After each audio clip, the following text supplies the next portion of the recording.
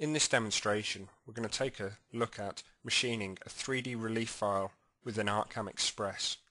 This can also be done within ArtCam Insignia. The file we're going to take a look at will be this crest.art file. So we're going to select that to open it and then maximize within our view. If we switch over to the 3D view we can see our relief file has already been placed into place for us. If we turn on the machine relief within the 3D view and the second one we'll see our toolpaths again have already been created for us.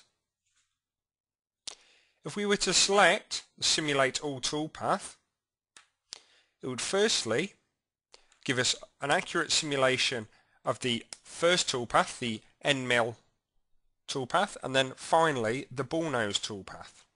This will show us exactly what the design will look like as it comes off the machine.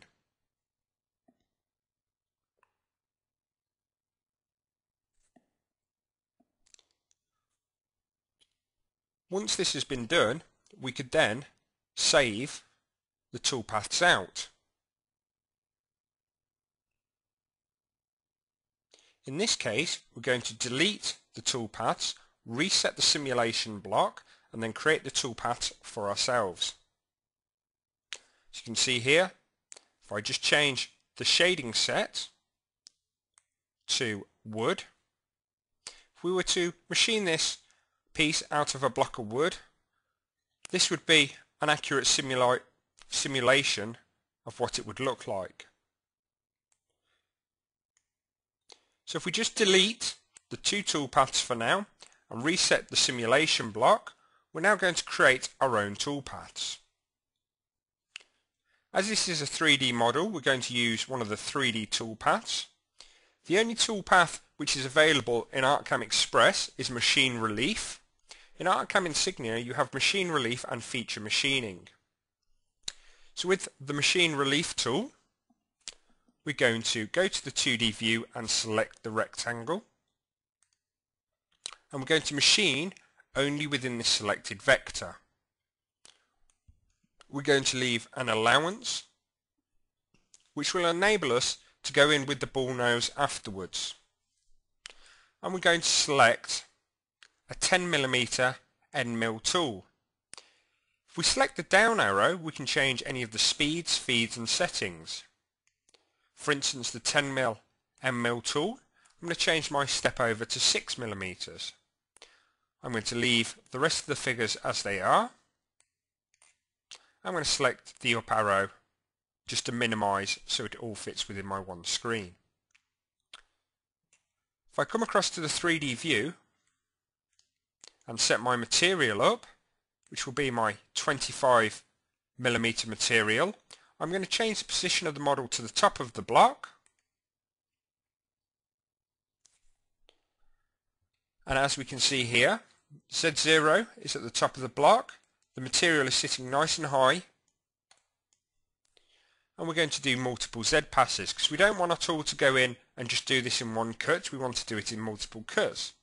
As Z0 is the top of the block, anything below this will be negative.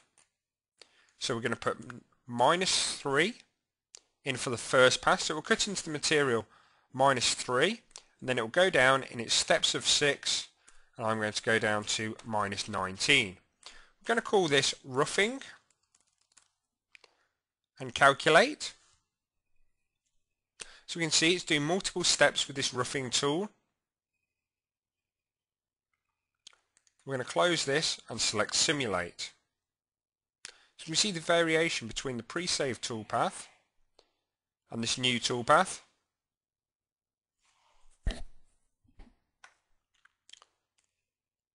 The new toolpath has been done within a selected vector which for your machining purposes you may want to do because you may have some kind of block holding these into place. Now going to move on and do the finishing toolpath.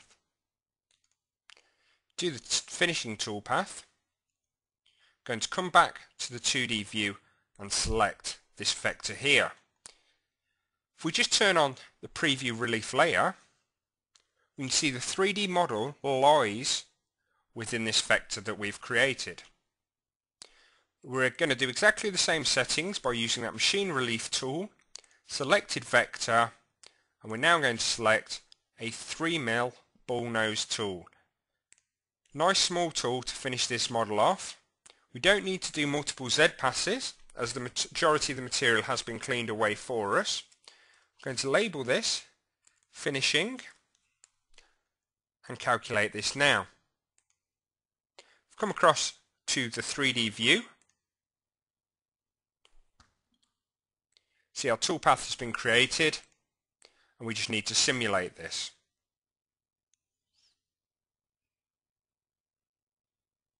You can see we have our finished design. All we need to do now is to save the toolpaths out. We're going to send the finishing tool back and save the roughing tool to our desktop. We're going to call this roughing. And we're going to send the roughing toolpath back and save our finishing as finishing.